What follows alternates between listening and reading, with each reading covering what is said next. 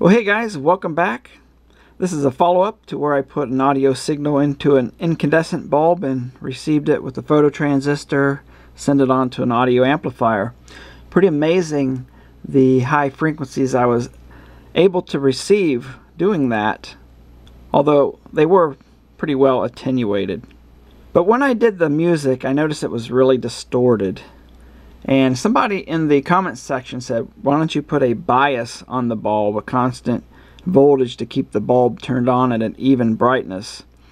And then I could put the signal on and vary it around that biasing point, see how it works.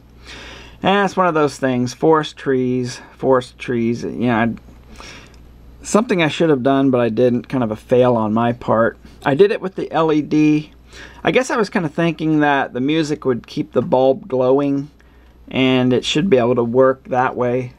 But in retrospect, I should have did the biasing thing with the bulb. So I'm going to do that. I'm going to take a little amplifier chip and then uh, remove the uh, output coupling capacitor because it's a single supply amplifier.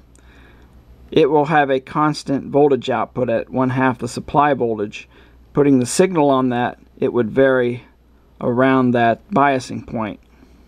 Another thing I wanted to say is you can hear the higher frequencies from the incandescent bulb it has to do with the way the temperature drops.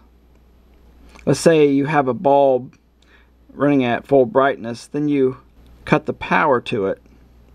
Well, the temperature is going to decay like this. It's going to decay very fast because delta T from the filament to ambient is very high and it's going to lose a lot of energy. It's going to radiate a lot of energy away. And as time progresses, it's going to cool off and that delta T is not going to be as much so the decay time will get slower and slower and eventually it'll reach ambient temperature. Okay, so here is the amplifier little TDA 7268 with the bulb on there. And I'm going to turn off the lights so it doesn't interfere too much. So I'll put it near the photo phototransist. Listen to how microphonic this is. Rings like crazy. Anyhow, I'm going to start playing music.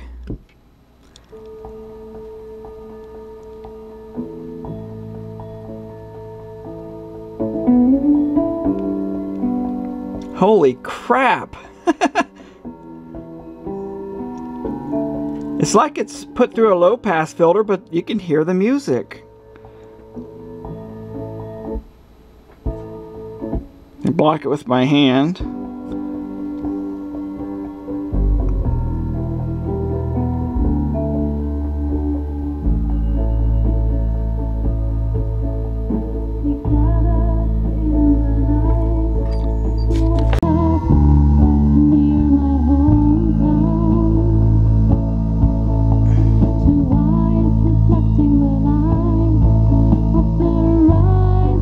So there you have it. Music through an incandescent bulb.